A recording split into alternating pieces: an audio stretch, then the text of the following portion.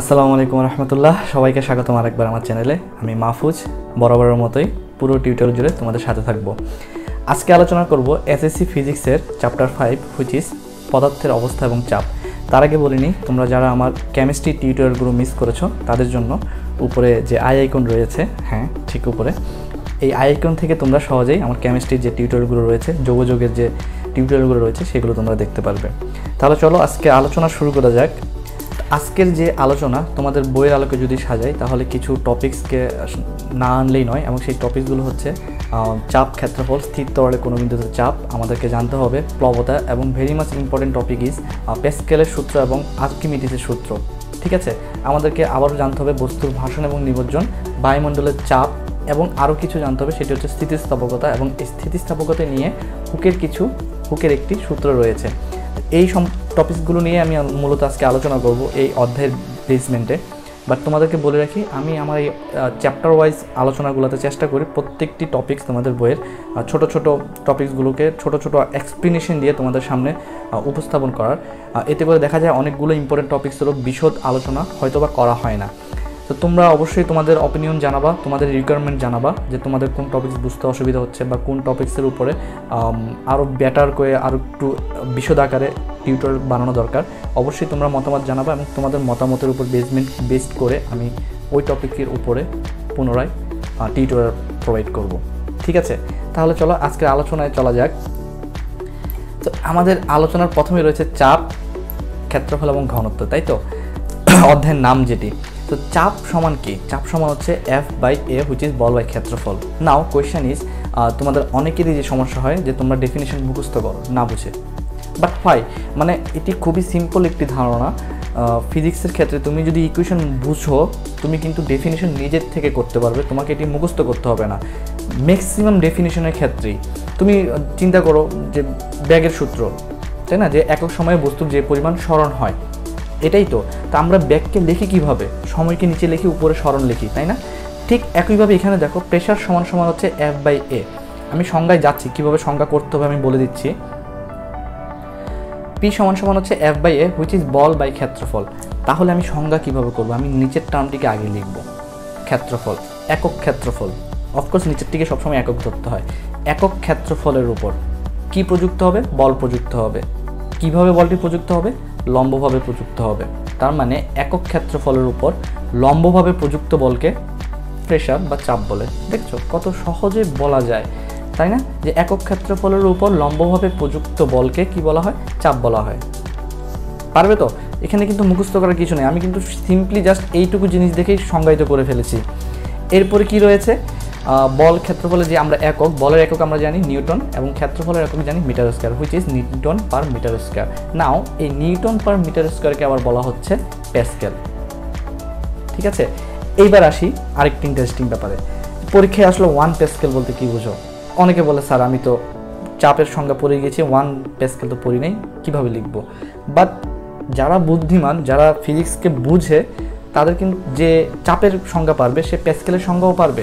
খুবই simple one pascal তুমি just এই দুটি টার্মের আগে মনে মনে ওয়ান ধরে নাও, এককের আগে। তাহলে সংজ্ঞাটা কি হবে? ওয়ান মিটার স্কোয়ার তখন ছিল একক ক্ষেত্রফল, এখন আমি একক ক্ষেত্রফলের নাম দিলাম কি? One metre square one metre square ক্ষেত্রফলের উপর লম্বভাবে প্রযুক্ত ওয়ান নিউটন বলকে। দেখেছ? কি বলা হয়? ওয়ান প্যাসকেল বলা হয়। নাও আরেকটু ইন্টারেস্টিং ব্যাপারে যাই। যদি পরীক্ষায় ওয়ান প্যাসকেল না এসে আসলো আসলো ধরো থার্টি নিউটন বা তিনশো নিউটন, দুইশো সরি দুইশো প্যাসকেল থার্টি প্যাসকেল বা হান্ড্রেড প্যাসকেল বা একটা অ্যামাউন্ট দিয়ে দেওয়া হলো। বলা হলো যে এত প্যাসকেল সমান বা এত প্যাসকেল বলতে কি বুঝো? তখন কীভাবে ডিফাইন করবা? অনেকে বলবে, স্যার, আমি ওয়ান প্যাসকেল পড়ে গেছি, পরীক্ষায় তো ওয়ান প্যাসকেল আসেনি। বাট যারা বুঝো, আমি সবাইকে বলছি না, তোমাদেরকে বোঝানোর জন্যই তো টিউটোরিয়ালগুলো করছি। যারা বুঝো দ্যাটস ফাইন বাট যারা, যাদের বুঝতে কষ্ট হয়, তারা একটু জাস্ট মানে বোঝার চেষ্টা করো। যে সেইখানে যদি তোমার টোয়েন্টি প্যাসকেল আসে, কথার কথা, তোমার ওয়ান মিটার স্কোয়ার ঠিক থাকবে, তুমি জাস্ট এই নিউটনের আগে মনে মনে টোয়েন্টি ধরে নাও। তাহলে ডেফিনেশনটা কী হবে? যে ওয়ান মিটার স্কোয়ার ক্ষেত্রফলের উপর লম্বভাবে যদি টোয়েন্টি নিউটন বল প্রযুক্ত হয়, তাহলে তাকে টোয়েন্টি প্যাসকেল বলা হয়। খুবই সহজ, দেখেছ? একটু যদি থিমটাকে থিমটাকে যদি বোঝা যায়। ওকে এরপরে আসি ঘনত্ব। ঠিক আছে? ঘনত্বকে রো দ্বারা প্রকাশ করা হয়। It's not Q it's rho এবং ঘনত্ব সমান আমরা জানি কি এম বাই ভি তাহলে এটাকে কীভাবে আমরা সংজ্ঞায়িত করব? মানে ভর বাই আয়তন। এখানে লিখে দিব যে একক আয়তন, নিচেরটার সাথে একক হবে, একক আয়তনের বস্তুর ভরকে তার উপাদানের ঘনত্ব বলা হয়। কত সিম্পল ওয়েতে বলে দিলাম, দেখেছ? যে একক আয়তনের বস্তুর ভরকে ওই বস্তুর উপাদানের ঘনত্ব বলা হয়। এবং এর একক কী হবে? ভরের একক হচ্ছে কেজি আয়তনের একক হচ্ছে মিটার কিউব দ্যাটস ওয়াই ঘনত্বের একক হবে কেজি পার মিটার কিউব বোঝা গেছে? এই যে আমি এখানে সংজ্ঞাগুলো লিখে রেখেছি, তোমাদেরকে দেখাইনি এতক্ষণ। এই যে একক ক্ষেত্রফলের উপর লম্বভাবে প্রযুক্ত বলকে চাপ বলে, ঠিক আছে? এবং কোনো বস্তুর একক আয়তনের ভরকে তার উপাদানের ঘনত্ব বলে, ঠিক আছে? চলে যাচ্ছি পরের টপিকে এই টপিকটি একটু ইম্পর্টেন্ট এবং এটি তোমাদেরকে একটু বুঝে করতে হবে, ঠিক আছে? এটি হচ্ছে আমরা স্থির তরলের কোনো বিন্দুতে চাপ নির্ণয় করব। খেয়াল রাখবে, চাপ নির্ণয় করব। তোমরা চাপ এবং বলকে মিক্স আপ করবে না। এটা মাথায় রাখতে হবে, চাপ, বল দুটি ভিন্ন টার্ম ঠিক আছে? আমরা কি নির্ণয় করব? চাপ নির্ণয় করব। তার আগে একটু ডায়াগ্রামটার দিকে যদি তাকাও, আমি ধরে নিলাম এই পাত্রে কিছু তরল রয়েছে এবং এই তরলের হাইট পাত্রের তলদেশ থেকে হচ্ছে এইচ তরলের ঘনত্ব হচ্ছে রো এবং যে পাত্রে রয়েছে তরলটি, সেই পাত্রের তল দেশের যে ক্ষেত্রফল, সেই ক্ষেত্রফলটি হচ্ছে এ বুঝা গেছে? এখন দেখো, আমি কোন বিন্দুতে অ্যাকচুয়ালি চাপ নির্ণয় করব? আমি এখানে উচ্চতা ধরেছি এ একদম তরলের উপরিতল পর্যন্ত। তার মানে উপরের তলের কোনো বিন্দুতে আমি চাপ নির্ণয় করছি। যদি আমি এই মাঝখানে কোনো বিন্দু নিতাম, সেক্ষেত্রে উচ্চতা হতো কত? সেক্ষেত্রে উচ্চতা হতো এই ক্ষেত্রফল থেকে যেই জায়গায় বিন্দুটি রয়েছে বা যেই জায়গায় বস্তুটি রয়েছে, সেই জায়গার কি নির্ণয় করতে হবে? চাপ নির্ণয় করতে হবে। সেক্ষেত্রে এইচ এর মান হবে ততটুকু। যে এখান থেকে এতটুকু। বুঝা গেছে? এইবার আমরা আলোচনায় যাই। তাহলে এই যে তরলটি রয়েছে এই পাত্রের মধ্যে, ঠিক আছে? সেই নিচের দিকে কি পরিমাণ বল প্রয়োগ করছে? তাই না? তরলটি যে পাত্রে রয়েছে কি পরিমাণ বল প্রয়োগ করছে? অ্যাকচুয়ালি তার যে ওজন, সেই ওজনটি যদি আমি ব্যাহ্যিক বল প্রয়োগ না করি, যদি সিমিলার জাস্ট সিম্পল ওয়েতে আমি যদি রাখি, তাহলে সেই কি পরিমাণ বল প্রয়োগ করছে? যে তরলের ওজন যতটুকু হবে, সেই ওজন পরিমাণ বলই সে কি করছে? পাত্রের সেই ক্ষেত্রফলে সে প্রয়োগ করছে। ঠিক আছে? তো তরলের ওজন, তো ওজন সমান আমরা কি জানি? W equal to M G সবাই জানো তোমরা যে ওয়েট ইকুয়াল টু ভর ইন্টু অভিকর্ষ গ্র্যাভিশনাল ফোর্স ঠিক আছে? তার মানে ভর ইন্টু অভিকর্ষজ ত্বরণ, ঠিক আছে? এখন একটু আসো ইন্টারেস্টিং ব্যাপার, এই ভর সমান আমি ঘনত্ব ইন্টু আয়তন লিখেছি বাট কীভাবে? ভর সমান ঘনত্ব ইন্টু আয়তন কীভাবে হয়? ওই যে আয়তনের সংজ্ঞা ছিল, একটু মনে করো। আয়তনের সংজ্ঞা ছিল কি?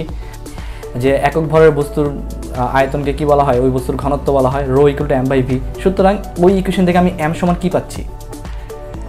খেয়াল করেছ? এম সমান আমি পাচ্ছি রো ইন্টু ভি তাই না? সেই জন্য আমি ভর ইকুয়াল টু লিখেছি ঘনটি ইন্টু ইন্টু আয়তন। বোঝা গেছে? ওকে আর ত্বরণ অভিজ্ঞ যে ত্বরণের জায়গায় ত্বরণ রইল। নাও এই আয়তন আয়তন সম্পর্কে তোমরা সবাই জানো, সেই ক্লাস ফাইভ সিক্স থেকে পড়ে আসছো, যে আয়তন সমান বস্তুর দৈর্ঘ্য প্রস্থ ইন্টু উচ্চতা। তাই না? এবং দৈর্ঘ্য ইন্টু প্রস্তকে আবার একত্রে কি বলা হচ্ছে? ক্ষেত্রফল বলা হচ্ছে। তার মানে আয়তন সমান কি? ক্ষেত্রফল ইন্টু উচ্চতা। খুবই প্রাইমারি লেভেলের আলোচনা তোমাদের জন্য ওকে ক্ষেত্রফল ইন্টু উচ্চতা ইন্টু ত্বরণ। নাও আমি জাস্ট মানগুলো বসিয়ে দিই। যে ঘনত্ব সমান হচ্ছে রো, ক্ষেত্রফলকে আমি প্রকাশ করেছি এ ধারা। উচ্চতা হচ্ছে আমি নিয়েছিলাম এইচ এবং অভিকর্ষজ ত্বরণ হচ্ছে জি তার মানে যে বল, এই বলটা হচ্ছে এফ আমি এতক্ষণ কিন্তু প্রেশার বের করিনি, আমি বের করেছি বল। ওই তরলটা কি পরিমাণ? কি প্রয়োগ করবে? বল প্রয়োগ করবে। তো বল সমান পেয়েছি রো এ এস জি নাও আমরা চাপের ডেফিনেশনে চলে যাই চাপ সমান হচ্ছে বল বাই ক্ষেত্রফল। বল হচ্ছে এফ ক্ষেত্রফল হচ্ছে এ এই এফ সমান আমি কি পেয়েছি? রো এ এস জি এবং নিচে রয়েছে কি এ কাটাকাটি করে দাও এ এ চলে যাবে। থাকবে কি? H rho G that means তরলের কোনো বিন্দুতে চাপ সমান, চাপ প্রেশার সমান সমান হচ্ছে H into rho into G অর্থাৎ উচ্চতা ইন্টু ঘনত্ব ইন্টু অভিকর্ষজ ত্বরণ। বুঝা গেছে? এবার এখানে একটু খেয়াল করো। এখানে যে জি বা অভিকর্ষজ ত্বরণ which is constant rho which is also constant কারণ পানির ঘনত্ব কিন্তু ইজ এ কনস্ট্যান্ট যদিও টেম্পারেচার চেঞ্জ হলে ঘনত্ব চেঞ্জ হয় বাট একটা স্থির টেম্পারেচারে পানির ঘনত্ব, যে কোনো তরলের ঘনত্ব কি সেম ওকে তাহলে আমরা পেলাম কি? প্রেশার সমান হচ্ছে এইচ রো জি এবং এখানে যেহেতু রো এবং জি হচ্ছে কনস্ট্যান্ট সুতরাং আমি লিখতে পারি P is directly proportional to H that means উচ্চতা বাড়লে প্রেশার বাড়বে। কিসের উচ্চতা? বস্তুর? না, তরলের। দ্যাট মিন্স তরলের গভীরতা বাড়লে প্রেশার বাড়বে। অর্থাৎ P is directly proportional to H এবং এটি ছিল তরলের স্থির বিন্দুতে কোনো বিন্দুতে চাপ। ঠিক আছে, তাহলে আমাদের মাথায় রাখতে হবে পি ইকুয়াল কি? পি ইকুয়াল হচ্ছে এইচ রো জি ঠিক আছে? এরপরে হচ্ছে আমাদেরকে যেটি জানতে হবে, প্লবতা। অ্যাকচুয়ালি প্লবতা কি? তাই না? Which is প্লবতা? প্লবতাকে আরেকটি বলা হচ্ছে বয়ন্সি বলা হয় ইংরেজিতে। প্লবতা কি? তো প্লবতা হচ্ছে, তুমি যখন কোনো বস্তুকে তরলে নিমজ্জিত করবে, তরল উপর দিকে একটি লব্ধি বল প্রয়োগ করবে। এটা করবেই। তুমি যখন বস্তুকে নিচে পানির তরলে যে কোনো তরলে নিমজ্জিত করবে তরল তাকে উপর দিকে একটি লব্ধি বল দিবে। এই যে উপর দিকে লব্ধি বল দিচ্ছে, এই লব্ধি বলের নামই হচ্ছে প্লবতা। ক্লিয়ার? আমি কিন্তু নিজের মতো করে চেষ্টা করছি তোমাদের কাছে কনসেপ্টগুলো বলে দেওয়ার। হয়তো বা অনেক ক্ষেত্রে এরকমটা হতে পারে যে বইয়ের ডেফিনেশনের সাথে নাও মিলতে পারে বাট কনসেপ্ট কিন্তু একই। ওকে আমি যদি এই ডায়াগ্রামটা দিকে খেয়াল করি যেখানে আমি একটি বস্তু নিমজ্জিত করেছি। ওকে, এই যে, এই হচ্ছে সেই বস্তুটি। ধরে নিলাম পানির উপরিতল থেকে এই বস্তুর উপরিতল পর্যন্ত উচ্চতা হচ্ছে এইচ ওয়ান খেয়াল করবে এইচ ওয়ান বস্তুর উপরিতল এবং পানির উপরিতল। এবং আরেকটি হাইট ধরলাম বস্তুর তলদেশ থেকে পানির উপরিতল। এই যে এতটুকু, পুরোটা। পুরোটা ধরলাম এইচ টু একটু খেয়াল করে দেখো, এতটুকু হচ্ছে এইচ ওয়ান তাই না? এতটুকু হচ্ছে এইচ ওয়ান আর নিচের এতটুকু হচ্ছে কি? পুরোটা হচ্ছে কি এইচ টু তো আমি এই এইচ টু থেকে আমি যদি এইচ ওয়ান বাদ দিই, আমি অ্যাকচুয়ালি কার হাইট পাচ্ছি? আমি এই বস্তুর হাইট কিন্তু পাচ্ছি। বোঝা গেছে? এতটুকু হচ্ছে এইচ ওয়ান আর এইখান থেকে এতটুকু হচ্ছে এইচ টু মানে পুরোটা হচ্ছে এইচ টু তো পুরোটা থেকে আমি যদি উপরের আপার অংশটুকু বাদ দিয়ে দিই, তার মানে যে এতটুকু অংশ যদি বাদ দিয়ে দিই, তার মানে থাকছে কি? শুধু এতটুকু, নিচ থেকে এতটুকু which is the height of the object এই অবজেক্টের হাইট হচ্ছে এইচ ঠিক আছে? এখন আমি তাকে বস্তুটিকে যে বলে প্রয়োগ করলাম, সেই বলটি হচ্ছে এফ ওয়ান এবং তরল তাকে উপরের দিকে যে বল প্রয়োগ করল সেটি হচ্ছে এফ টু তাহলে এই ক্ষেত্রে প্লবদা হবে কি? অবশ্যই F two minus F one এবং অবশ্যই এফ টু এফ ওয়ান থেকে কী হবে? বেশি হবে। তার জন্যই তো বস্তুটি উপরের দিকে আসবে। উপরের দিকে লব্ধি বল প্রয়োগ করবে, তাই না? অবশ্যই বেশি হতে হবে। নত তো বস্তুটি ওজন এখন আবার আর্কিমিডিসের সূত্রে যেতে হবে। যাই হোক ওকে তাহলে এখানে প্লবতা হচ্ছে F two minus F one clear তা আমি যদি এখন ওই আগের যেই স্থির বিন্দুতে চাপ থেকে যদি সূত্র বসাই এফ টু সমান আমি জানি কি? এফ টু সমান হচ্ছে A S two rho G just H এর জায়গায় আমি টু বসিয়েছি। এখানে এইচ এর জায়গায় হবে ওয়ান আমি এ রোজি কমন নিয়ে নিব, থাকবে কি S two minus H one এবং S two minus H one actually কি? বস্তুর ওজন। সুতরাং আমি এখানে লিখতে পারি যে প্লবতা, এবং মাথায় রাখবে প্লবতা কিন্তু ওয়ান কাইন্ড অফ ফোর্স প্লবতা হচ্ছে বল, ঠিক আছে? এ রো জি এইচ ওকে অর্থাৎ প্লবতা সমান এ এইচ রোজি এবং এখানে এ এইচ আবার কি? এ মানে হচ্ছে ক্ষেত্রফল এইচ মানে হচ্ছে উচ্চতা আর আমরা জানি কি? ক্ষেত্রফল ইন্টু উচ্চতা সমান সমান হচ্ছে কত? ভলিউম হুইচ ইজ আয়তন। ওকে তাহলে প্লবতা সমান হচ্ছে ভি রোজি তাহলে আমাদের মাথায় রাখতে হবে তরলের স্থির বিন্দুতে কোনো বিন্দুতে চাপ পি ইকুয়াল হচ্ছে এইচ রোজি এবং প্লবতা ইকুয়াল টু হচ্ছে ভি রোজি তোমাদের যদি বুঝতে অসুবিধা হয়, অবশ্যই আমাকে জানাব। আমি চেষ্টা করছি আমার নিজের মতো করে তোমাদেরকে বোঝানোর। তারপর এক একজনের বোঝানোর ধরন এক এক রকম, এক একজনের বোঝার ধরনও আরেক রকম। সবাই যে একইভাবে জিনিসগুলো বুঝতে পারবে তা না। কিন্তু আমি চেষ্টা করছি একদম বেসিক লেভেল থেকে যতটুকু ইজিয়েস্ট ওয়েতে বোঝানো যায় চেষ্টা করছি। তারপরও মানুষ মাত্রই ভুল। দেখা যাচ্ছে we all have some limitation অনেক ঘাটতি থেকে যেতে পারে। সেটি তোমরা জানাবে। আমি চেষ্টা করব আমাকে আরও একটু ওভারকাম করার। ওকে পরের টপিকে চলে যাই which is the law of Pascal very much important ঠিক আছে? তো প্যাসকেল অ্যাকচুয়ালি কী বলেছেন? আমি আলোচনা করব। তোমরা কিন্তু ডায়াগ্রাম দেখে ভয় পাবে না ওকে এখানে খুবই সহজ ব্যাপারগুলো, যদি একটু বুঝতে হবে ওকে তো প্যাসকেল কি বলেছিলেন? তিনি বলেছিলেন যে তরলের যদি কোনো অংশে যদি আমি চাপ প্রয়োগ করি ওকে সেই চাপটা কি হবে না? কমবে না এবং তরলের সব জায়গায় সমানভাবে যাবে। তিনি এটি বলেছেন এবং যে পাত্রে যে দেয়াল, দেয়ালে লম্বভাবে ক্রিয়া করবে। দ্যাটস মানে সিম্পল ওয়েতে যদি বলি যে, তরলের কোনো অংশে যদি চাপ প্রয়োগ করা হয়, সেই চাপ কিছুমাত্র না কমে তরলের সব জায়গায় সমানভাবে সঞ্চালিত হয় এবং পাত্রের দেয়ালে লম্বভাবে ক্রিয়া করে। এটি ছিল তোমাদের বইয়ের ভাষায়, ঠিক আছে? তাহলে এটি অ্যাকচুয়ালি কী? কীভাবে হয়? এবার একটু এই ডায়াগ্রামটার দিকে খেয়াল করো। এখানে আমি কোনো ম্যাথমেটিক্যাল কোনো কিছু বোঝাবো না। আগেই বলে নিচ্ছি জাস্ট তোমাদের বোঝার সুবিধার্থে যে অ্যাকচুয়ালি এই চিত্রটিতে কী বোঝানো হয়েছে। প্যাসকেলের সূত্রকে বল বৃদ্ধিকরণ নীতিও বলা হয় বাট হাও একটু খেয়াল করো। আমি ধরলাম এই যে এই পিস্টনটিতে, এই পিস্টনটি হচ্ছে একটি ছোট পিস্টন, ঠিক আছে? এর এরিয়া হচ্ছে বা ক্ষেত্রফল হচ্ছে এ ওয়ান এবং এটি একটি বড় পিস্টন। এর ক্ষেত্রফল হচ্ছে এ টু হুইচ ইজ দশ গুণ। এই এ ওয়ানের কত? দশ গুণ। তার মানে এ ওয়ান যদি এক মিটার হয়, এটা হবে দশ মিটার। এটার থেকে দশ গুণ বড় হচ্ছে এই ক্ষেত্রফল। ঠিক আছে? তার মানে আমি এইখানে যদি চাপ প্রয়োগ করি, প্যাসকেলের সূত্র অনুসারে এইখানে আমি যে চাপ প্রয়োগ করব, এই চাপ, এই তল দেশ দিয়ে, এই পানিতে ফ্লো করে এইখানেও কি হবে? উপরের দিকে একই প্রেশার অনুভূত হবে। মানে প্রেশারটা কি হবে না চেঞ্জ হবে না। ঠিক আছে? এখানে আমি নিম্নমুখী প্রেশার দিব এবং এখানে আমি ঊর্ধ্বমুখী প্রেশার পাবো। বাট কিন্তুটা হচ্ছে কোথায়? কাহিনীটা হচ্ছে কোথায় দেখো? আমরা জানি পি ওয়ান সমান কত? পি সমান কত? এফ বাই এ সুতরাং পি ওয়ান সমান F one by A one খুব সিম্পল সুতরাং এফ ওয়ান সমান কী হবে? P one into A one এটা আমি এখানে লিখেছি। তার মানে এই জায়গায় আমি পি ফোর্স প্রয়োগ করলে পি ওয়ান ফোর্স প্রয়োগ করলে যে বলটা পাবো, সেই বলটা অ্যাকচুয়ালি কত? P one into A one বুঝে গেছে? কেন P one into A one হলো? এবং এইখানে পি টু ইকুয়াল টু কত? এফ টু এ টু এবং যেহেতু পি ওয়ান এবং পি টু সমান according to law of Pascal সুতরাং এই F one by A one equal to F two by A two বোঝা গেছে? ওকে এবার একটু খেয়াল করো। এবার আমি এই পিস্টনে যদি আমি বল প্রয়োগ করি, বলটা নির্ণয় করি, তাহলে এই পিস্টনের বলটা হবে কত? P two into A two তাই না? যে P two into A two এবং এ টু অ্যাকচুয়ালি কত? এ ওয়ানের দশ গুণ। তার মানে এইখানে আমি যে পরিমাণ বল পাবো, একটু ভেবে দেখো, এখানে এফ ছিল P one into A one এখানে F two equal to P two into A two পেয়েছি। পি টু এবং পি ওয়ান সেম তার মানে মান ভেরি করছে কোনটা? এ ওয়ান এবং এ টু এখানে এ ওয়ানের মান যদি এক মিটার হয়, এখানে এ এর মান হবে টেন তার মানে এখানে আমি যে বল পাবো, এই পিস্টনে আমি তার দশ গুণ বল পাবো।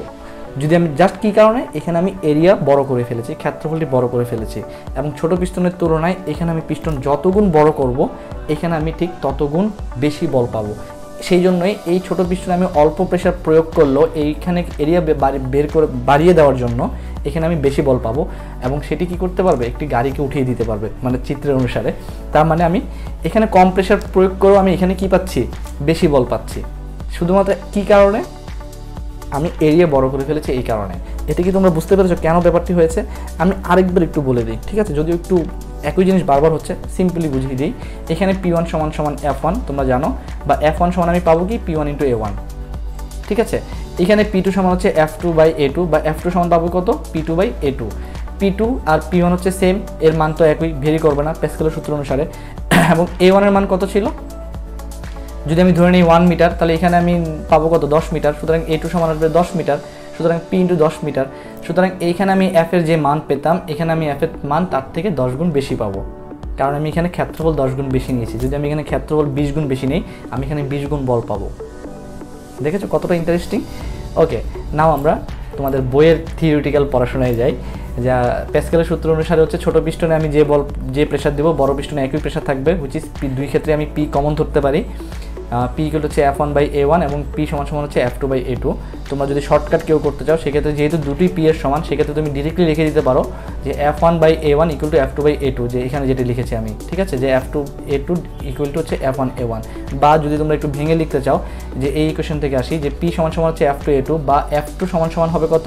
পি ইন্টু এ টু বজ্রগুণন, ঠিক আছে? এবং এই পি এর মান কত? এই পি এর মান হচ্ছে আবার F one into A one এই যে F one into A one into A two এই এ টুটাকে আমি নিচে নিয়ে এসেছি, তাহলে F two by A two সমান সমান F one by A one এরপরে কী করতে হবে? এই এফ ওয়ান এবং এ টুকে আমি কি করব? সাইড চেঞ্জ করব, ঠিক আছে? বজ্রগুণন। তাহলে এ এ এফ ওয়ানটা নিচে আসবে এফ টু এর, তার মানে F two by F one হবে ইকুয়াল টু এখানে আসবে এই এ টুটা উপরে চলে যাবে A two by A one and that's the law of Pascal ঠিক আছে? এখন এইটিকে যদি আমি একটু অন্যভাবে চিন্তা করি ধরে নিলাম এই সিলিন্ডার ক্ষেত্রফল হচ্ছে এ তাহলে সিলিন্ডার যদি হয়, ক্ষেত্রফল যদি এ হয়, এর ক্ষেত্রফলের সূত্র কি? সিলিন্ডারের পাই আর স্কোয়ার সবাই জানো, তাই না? সিলিন্ডারের ক্ষেত্রফল হচ্ছে পাই আর স্কোয়ার তো পাই আর স্কোয়ার যদি হয়, তাহলে এই ক্ষেত্রফল হবে কত? পাই আর টু স্কোয়ার এবং এটার ক্ষেত্রে কি হবে? পাই আর ওয়ান স্কোয়ার পাই পাই কারাগারি যাবে, থাকবে কি? R two square divided by R one square বুঝা গেছে? একইভাবে আমি যদি ব্যাস দিয়ে নির্ণয় করি, আমরা জানি ব্যাস সমান কি? ব্যাসার্ধের ব্যাস হচ্ছে কত? ব্যাসার্ধ হচ্ছে ব্যাসের অর্ধেক, তাই তো? তা আরকে আমি কি করি? যদি আমি ডি টু বাই টু দিয়ে ভাগ করি, তার মানে আমি কাকে পাচ্ছি? আর পাচ্ছি, তাই না? তার মানে D two by two whole square D one by two square এবং এখানেও তুমি যখন ইকুয়েশনটি কমপ্লিট করবে, আমি এক লাইন লিখিনি, তুমি এই ইকুয়েশনটি পাবে যে D two square divided by D one square তার মানে F two by F one equal to A two by A one হতে পারে।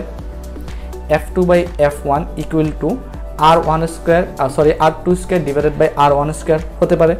আবারও হতে পারে F two by F one equal to হচ্ছে কত? D two square divided by D one square এখন ব্যাপার হচ্ছে আমি কখন কোনটি অ্যাপ্লাই করব?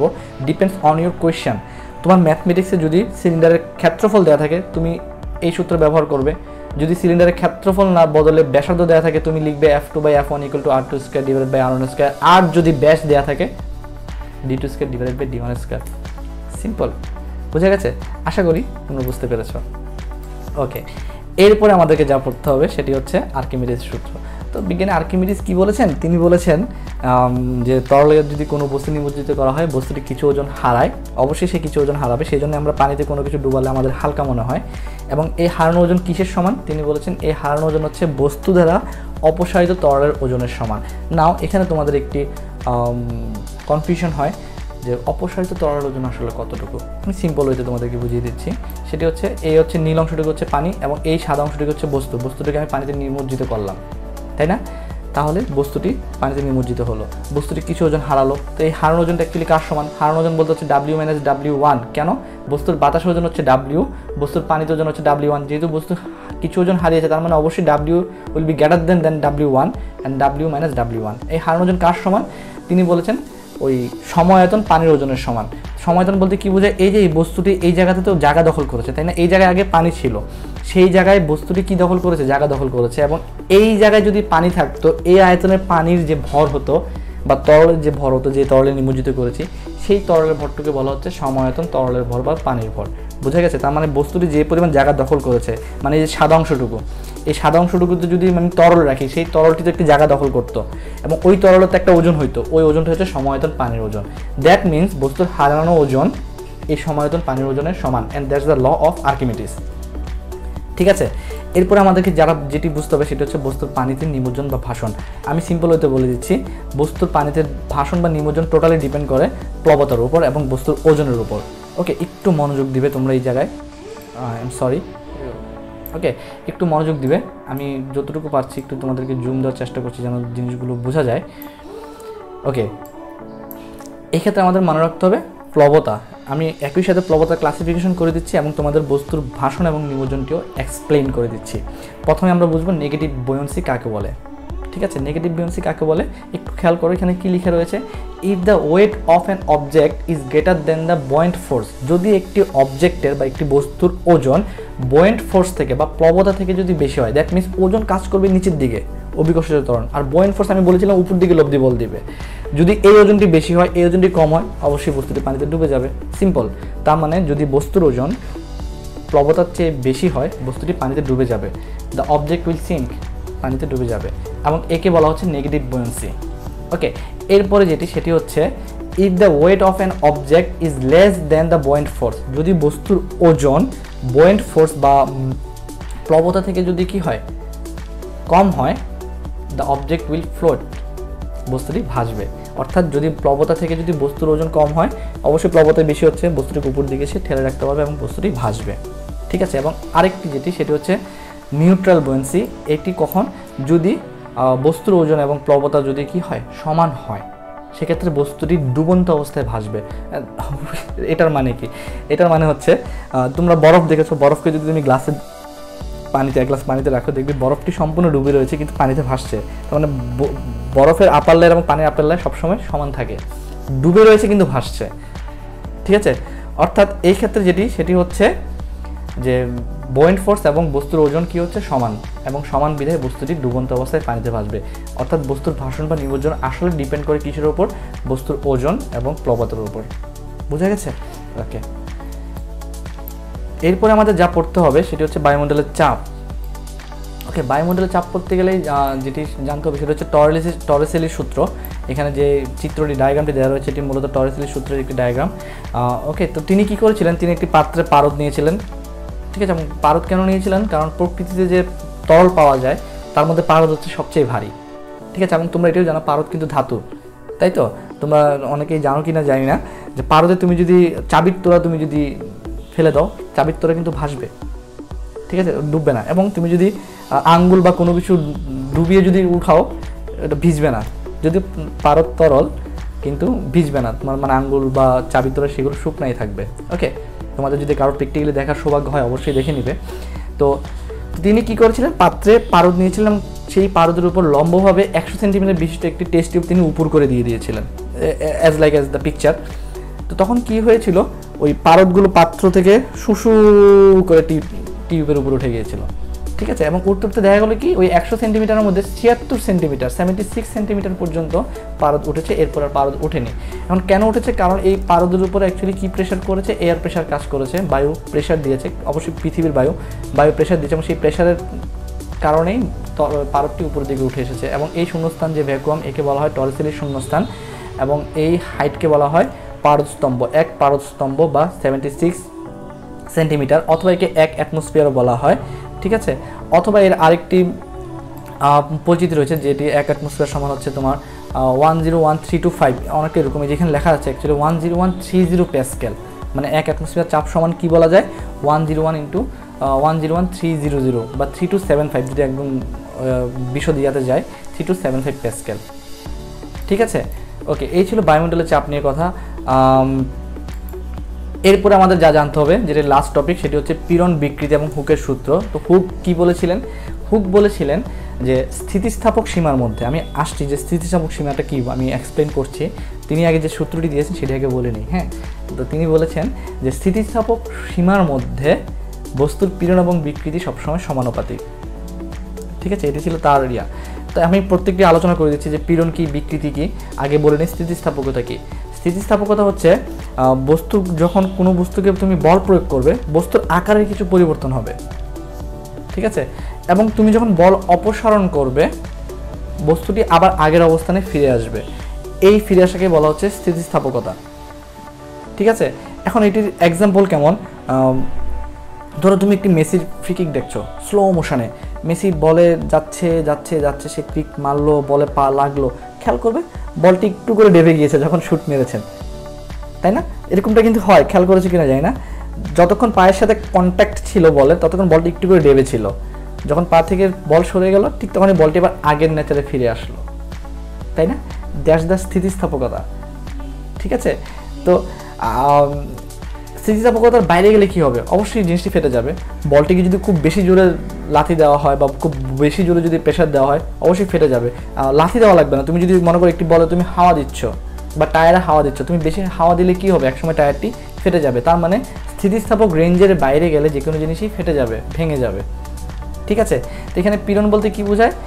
পীড়ন বলতে হচ্ছে তোমার একক ক্ষেত্রফলের উপর যে প্রযুক্ত বল, সেটি হচ্ছে পীড়ন। আর বিকৃতি কি? একক ক্ষেত্রফলের মধ্যে বস্তুটি যে আকারের পরিবর্তন হয়, সেই আকারের পরিবর্তনকে বলা হচ্ছে বিকৃতি। এবং পীড়ন এবং বিকৃতি হচ্ছে সমানুপাতিক। তার মানে যে পরিমাণ বস্তুর পীড়ন হবে, ঠিক সেই পরিমাণ আবার বস্তুর কী হবে? বিকৃতি হবে। এবং এটা হতে হবে অবশ্যই স্থিতিস্থাপক সীমার মধ্যে। স্থিতিস্থাপক সীমার বাইরে গেলে অন্য কথা, কারণ তখন তো জিনিসটি ফেটেই যাবে। এবং পীড়ন বাই বিকৃতির মান সবসময় কী হবে? ধ্রুবক, যাকে ইয়নের গুণাঙ্ক বলা হয়। তোমাদের এসএসসি লেভেলে যদিও ইয়নের ইয়নের ইয়নের গুণাঙ্ক নিয়ে বলা নেই এইচএসসি লেভেলে গেলে তোমরা অবশ্যই পাবে। তো আজকে মোটামুটি আমি চেষ্টা করেছি তোমাদেরকে এই অধ্যায়ের টপিকসগুলোর সম্পর্কে একটু ধারণা দেওয়ার। জানি না কতটুকু সফল হয়েছি। আমি চেষ্টা করি সবসময় ইজি ওয়েতে বোঝানোর। হয়তো বা অনেক ক্ষেত্রে কমপ্লেক্স হয়ে যায়। তো তোমরা অবশ্যই জানাবা। যেন আমার টিউটোরিয়াল দেখে তোমরা ভয় না পাও, আমি চাই তোমরা টিউটোরিয়ালগুলো দেখে ইন্সপায়ার হও। তোমরা ইন্সপায়ার্ড হলে আমি নিজে একটু ইন্সপায়ার্ড হব। আরও বেশি সহজ করে তোমাদেরকে বোঝানোর জন্য।